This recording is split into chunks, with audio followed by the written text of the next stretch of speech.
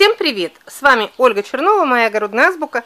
Сегодня 13 июня. Я вчера говорила, что буду обрабатывать свои огурцы от мучнистой росы.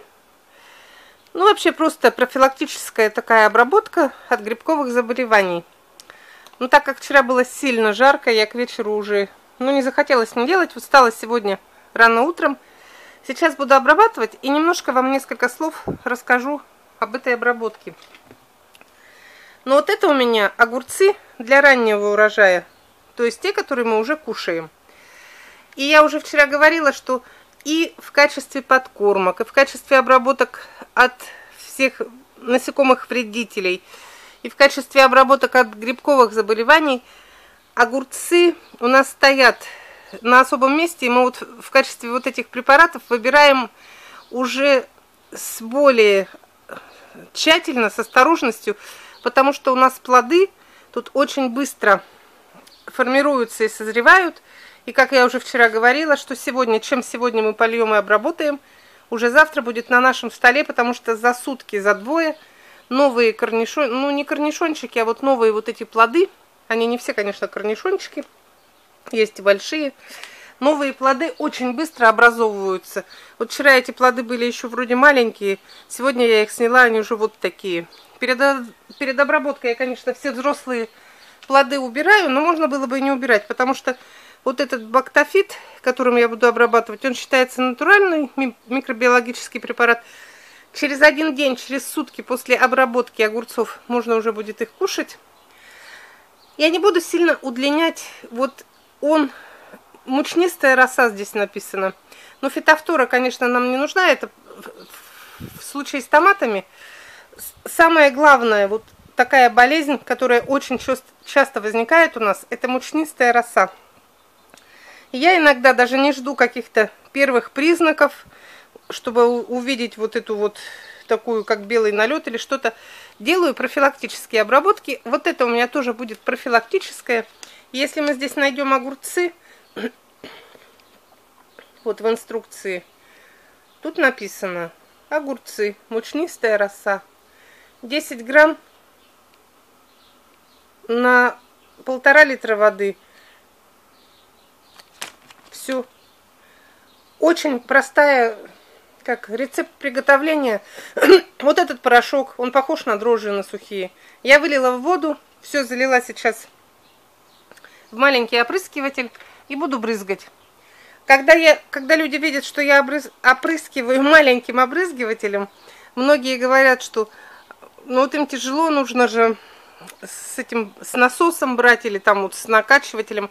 У меня есть всякие. Я объясню, почему я пользуюсь именно вот этим. Им очень удобно, потому что вот, например, в случае с огурцами нужно еще опрыскивать вот эту вот нижнюю сторону. И она вот эта мобильная, он такой.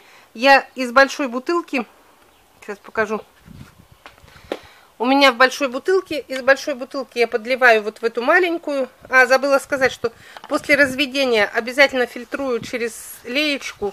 И вот хочу дать совет, кто не может приспособиться, через что профильтровать. Очень удобно вот этот подследник женский, вот покупаю, когда следики, специально пару покупаю для фильтровки вот этих препаратов. Он прям на лейку, он же с резиночкой, плотно так насаживается, через него льешь он все, ну все крупинки, которые не растворились, иногда бывает не растворяются, он их от, от этого, ну как отфильтровывает. Ну все, и обработка, конечно, очень-очень проста. Я сначала обрабатываю, вот сейчас камеру положу, вот так рукой поднимаю лист и туда, в нижнюю сторону. Потом перейду на верхнюю, сильно не заливаю, чтобы капельки оставались на листиках. Обработаю верхнюю сторону. И в случае с мучнистой росой обрабатываю все стволики, вот эти вот как не только листики, но и вот эти черешки до самого-самого низа. Даже внизу, вот здесь, тоже опрыскиваю. Все, это вот очень простая обработка. Ну и в качестве, не обязательно, вот я использовала бактофит не обязательно бактофит. Используют другие препараты микробиологические. главное, что мы все знаем, что лечить заболевание, когда оно уже возникает, его намного сложнее, чем предупредить.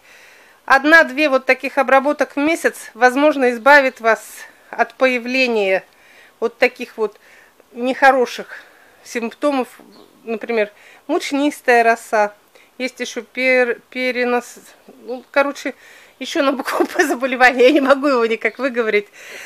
Но вот я обрабатываю, когда еще нет у меня видимых причин беспокоиться, потому что потом, когда будут видимые причины, будет намного сложнее. У меня вообще вот с ранними огурцами проблем нет. Единственная проблема, что они выросли очень великанские. Они не только вот эти вот огромные листья, которые... Сейчас, подождите. Я вам показывала, что вот моя рука по сравнению с листом вот такая, ну это ужас. Огромные листья, они еще и в высоту великаны. Вот у меня вот этот вот стеллаж полтора метра.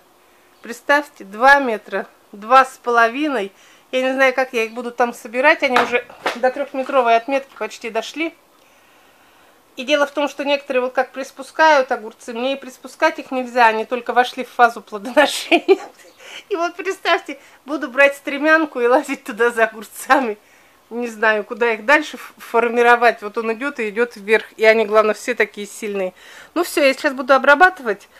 Это, конечно, видеоролик, ничего нового вы в нем не увидели, просто он будет как напоминание, что, возможно, у кого ранние огурцы есть, то уже нужно подумать про обработки от, от различных вот этих заболеваний, которых еще, конечно, нет в помине. Еще рано, все еще у нас хорошо – но когда наступает уже все плохо, то будет труднее бороться с болезнью. Все, до свидания.